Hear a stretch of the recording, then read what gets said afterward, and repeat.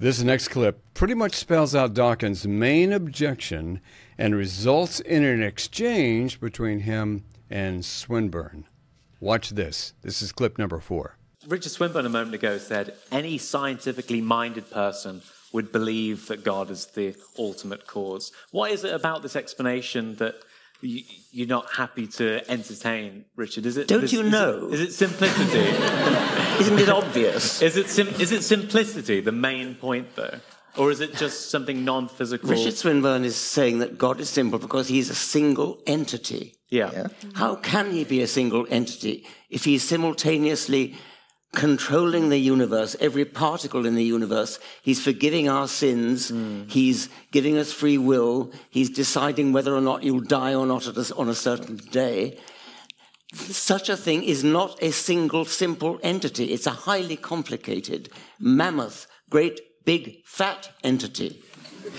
Well, take another example of a very simple entity. Uh, uh, a particle of matter here this particle of matter is influencing all sorts of other particles of matter all over the universe. How can it do that with just being one particle of matter? Well, it does, according to uh, uh, the law of gravity. Well, yes, so what? I mean, that. Well, you were saying that in order to have a large number of effects, it had to be a big thing. In order to do the things that God is supposed to be doing, he cannot be simple. He, is an entity of subjective consciousness. He thinks about things. He has will, free will. He has the power to influence anything in the world that he wants to do. He even does the things that the Christians believe and all the other religions believe. How can you possibly say that such an entity is a single, simple entity? Well, I'm giving you the example that an entity which is a pretty small and unconscious entity can have a very large number of effects. And if God can have a large, large number of effects and yet be um, virtually uh, even smaller than an electron, in other words, having no spatial extension, um, why shouldn't you say so? It is the nature of science to postulate entities to which are unobservable and have strange properties in order to explain observable entities. Uh, we postulated atoms, etc., with their properties in order to explain regular combinations of substances by weight and volume.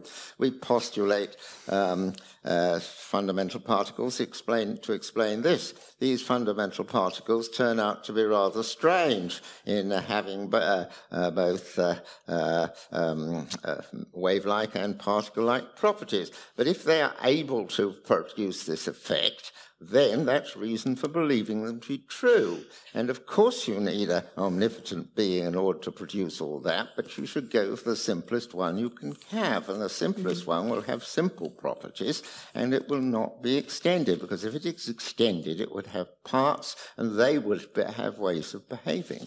I just want to turn you loose on all that, Bill. but, um, but please include Swinburne's illustration of a tiny yes. particle having big effects and and God is smaller than an electron, so to speak, because yeah. he's not extended in space. Yeah, you, have just got to love listening to these two gentlemen uh, speak. They're, they're so articulate and urbane.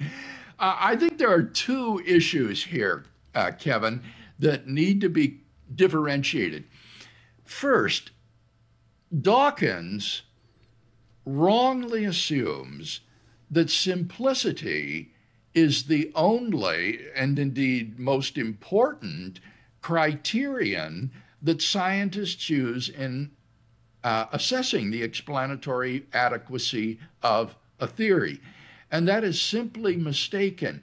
It is not true that scientists simply pick which theory is simpler. There are other theoretical virtues that need to be weighed as well, such as explanatory power.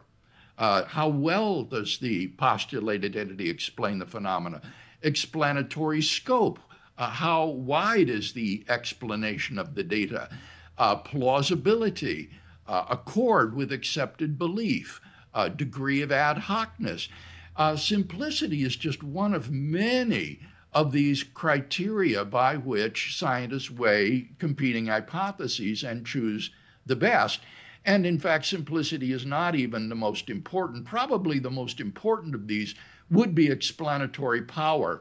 And it was so interesting to hear Swinburne uh, focus on that. In that last answer, he talked about uh, what gives the best explanation of the physical phenomena that we observed, and it will be postulating these rather strange uh, subatomic particles, such as are featured in the standard model of particle physics. So it is explanatory power that will be most important and not just uh, simplicity, as Dawkins seems to assume. The second issue is whether or not God is a simple entity or a simple explanation. And Dawkins thinks that because God can do lots of things and have variegated and multiple effects, that therefore God is not simple. Now, by Dawkins' own definition of what simple means, this doesn't follow.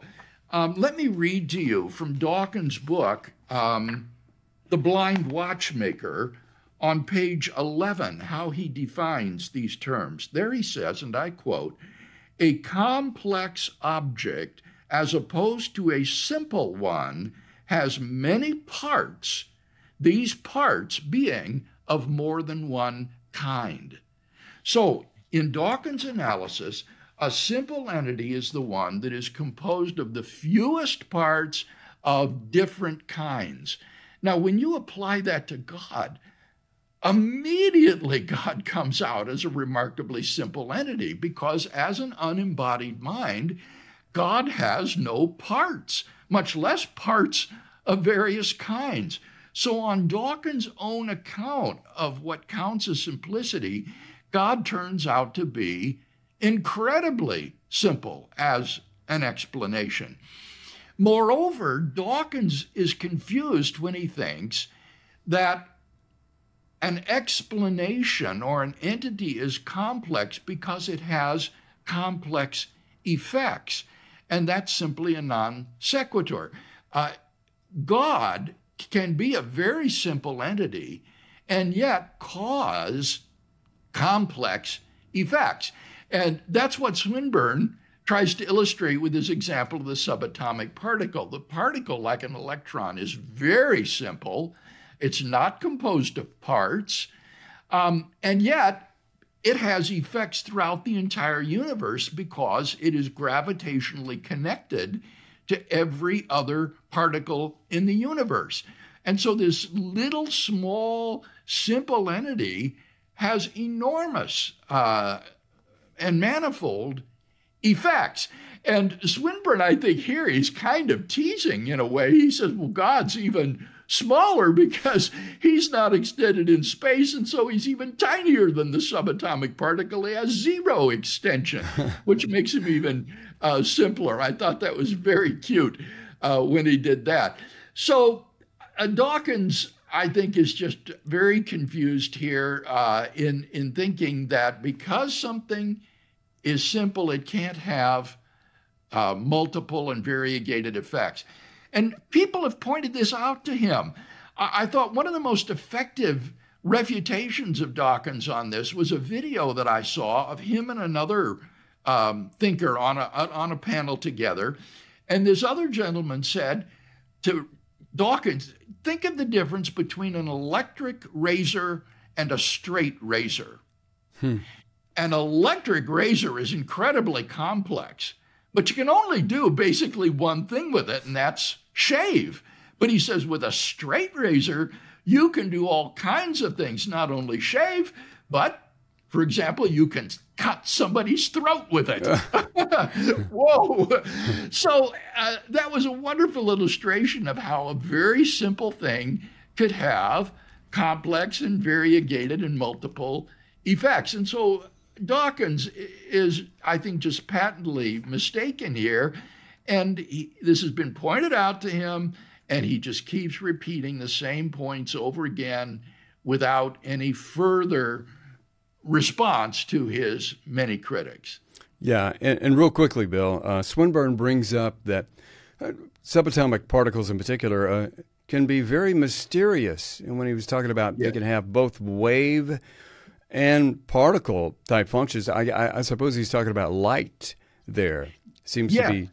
And, and so uh, there, there are plenty of things that are very, very small and very simple that have nevertheless mysterious properties. Yes, and that again provides an analogy with God for uh, unbelievers who find God to be a weird object, uh, something strange. Uh, Swinburne would point out that for the sake of explanatory power, for the sake of explanatory adequacy, uh, scientists are quite prepared to posit the existence of objects which are extremely strange and of which we have only partial understanding. In this clip, Swinburne talks again about the fundamental constituents behaving the same way, and it results in this exchange with Dawkins. Clip number five. I have no quarrel at all with anything Richard Dawkins said. I entirely agree. But the question is, why is uh, these laws operative? And the answer is, of course, because, as you said, the laws of physics are crucial here. Uh, but then why are the laws of physics operative? And, okay, there's a multiverse. But that will only produce these laws if it itself has laws. And so, in the end, you are left with the laws of science.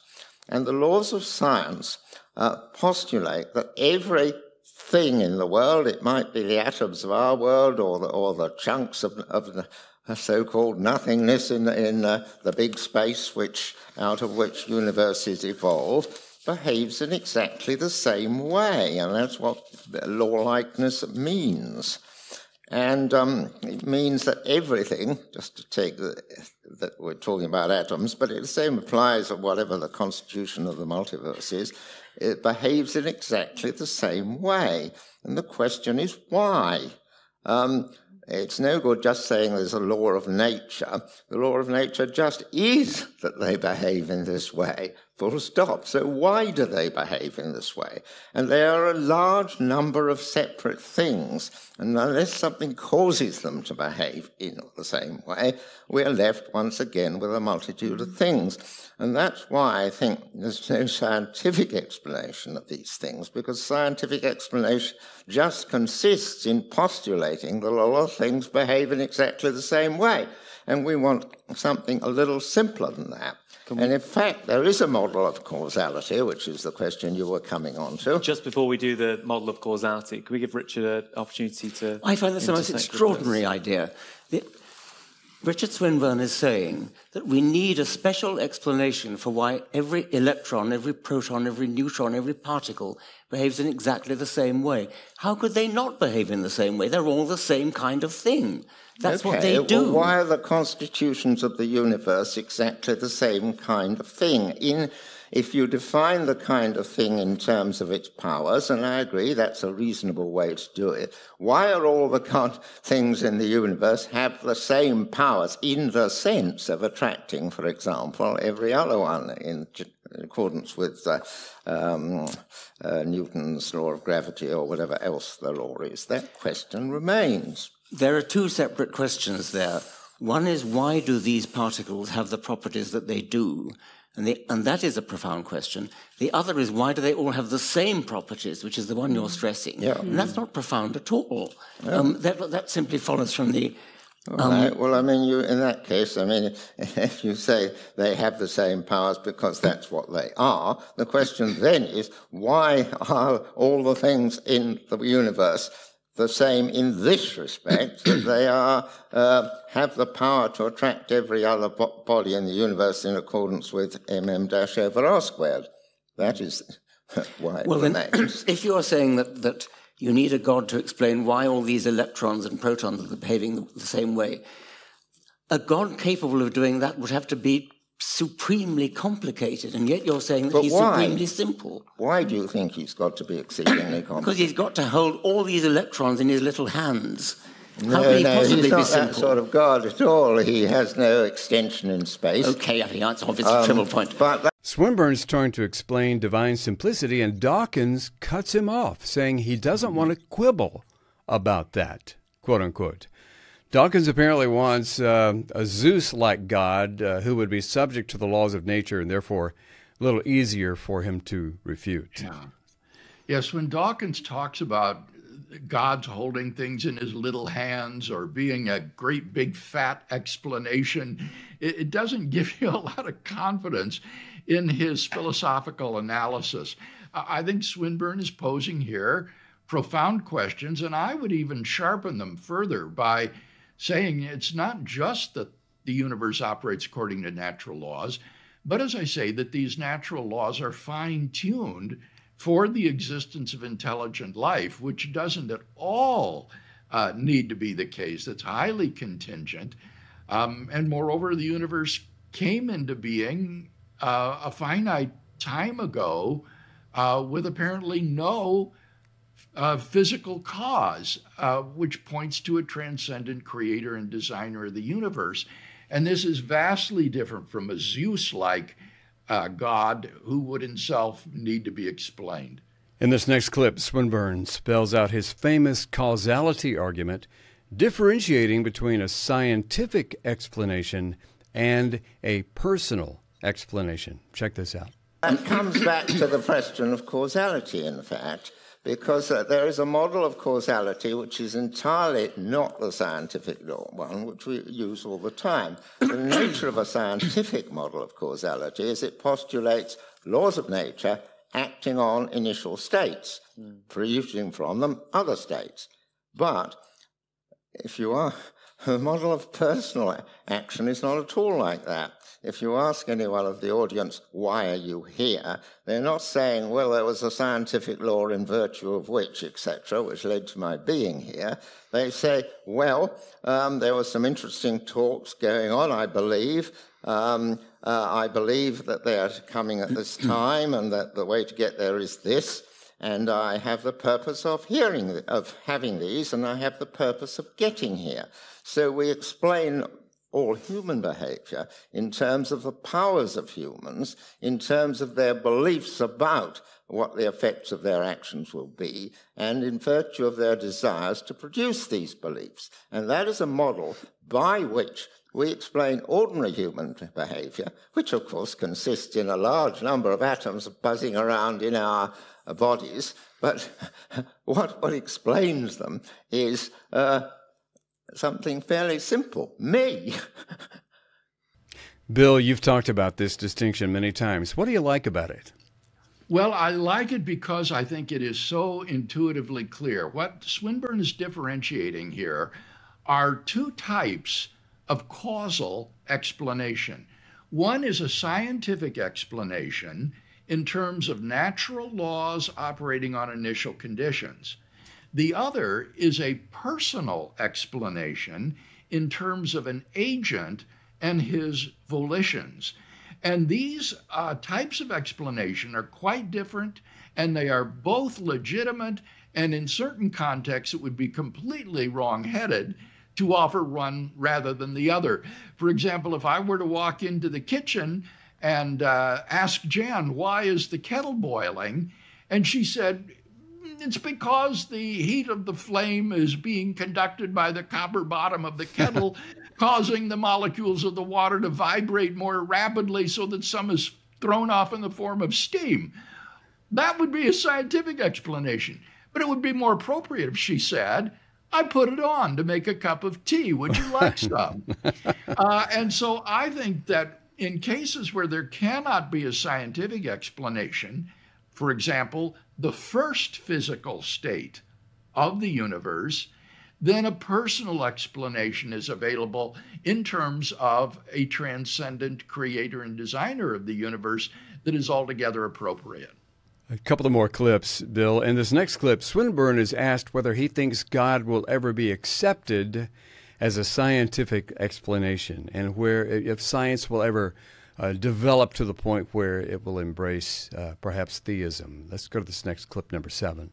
Well, of course, I don't know where science will get to, but what science will get to is a scientific law. I don't know what the law will be, but it doesn't matter what the law will be. It may get to a beginning or it may not, uh, but uh, uh, it will get to laws. And um, laws are claims about how every particle or whatever it's made of is going to behave in certain respects in exactly the same way. And I mm. agree with Richard Point. You, you can think that as a defining characteristic of the, the constituents. That's fair enough. But the question is why the constituents have just the same finding.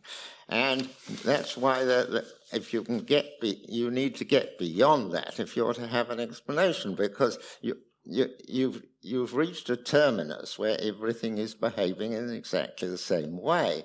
And so it's worth looking at the other mode which, by which we explain things and explain personal behavior. Bill, several things there, but is he saying that one can only press explanations so far before one hits the wall? Uh, everything behaving the same way, being a terminus, as he puts it? Yes, that does seem to be the implication that there are limits to scientific explanation beyond which one cannot go. And then he says it is perfectly appropriate to appeal to this other mode of causal explanation in terms of a personal agent and his volitions.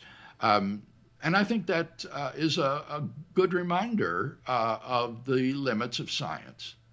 In this final clip, Dawkins presses Swinburne on God's simplicity. Clip number eight. Do you think God can read our thoughts? Can he read the thoughts of everyone in this room? Yes. All eight billion people in the world? Yes. And he's simple. He's reading all these thoughts and he's simple. He's a simple entity in the sense that he has properties, but they are very big properties. Mm. Uh, uh, big, uh, but you're using simplicity as an argument in his favor on sort of Occam's razor grounds. Yeah. It's a simple explanation because he's one entity. But he's not a simple entity. He's reading 8 billion people's thoughts simultaneously. But the argument in favor of him being simple is that we want simple explanations. That's Richard Sim- point. Yeah. We want a simple explanation and I'm saying God cannot possibly be a simple explanation. He's a very complex explanation. There have been two questions bouncing around for a while yes. here, Bill God as a simple entity and God as a simple explanation. Yes. As I differentiated earlier, these two gentlemen are working with different definitions of simplicity. And insofar as we talk about God as a simple entity, on Richard Dawkins' own definition, God is completely simple because he has no parts. Remember, for Dawkins, uh, an, an entity is complex if it is composed of many different kinds of parts. And God, as a spiritual, incorporeal being, is not composed of parts. So it follows immediately that he is simple. And the fact that a, a simple entity like a mind can have complex effects is in no way detracting from the fact that this entity is not made up of parts. Moreover, Swinburne would say postulating God is a simple explanation of the existence of the contingent universe because it posits one entity of one kind with mathematical properties that are very simple, either zero or infinity, uh, and that therefore this explanation is a simple one. Uh, and so I think that Dawkins needs to think more deeply uh, about these subjects and respond to his critics uh, about this argument. Yeah, and as we're wrapping up today, Bill, I, I just wonder if Dawkins will ever be open mm. to exploring classical theism and views on God's simplicity. He's so adamant uh, mm-hmm. against uh, theism of any kind. That and your concluding thoughts, Bill. I think that any philosopher or scientist in the public square has an obligation to respond to his critics. And this is an obligation that Richard Dawkins has not discharged. He continues simply to reiterate the same old objections over and over again, even though they've been answered time and again. Um, and even though I think he, he's clearly mistaken his, in his assertion. So I take this, Kevin, to be symptomatic of someone who is just utterly closed minded uh, and has no interest in exploring these questions.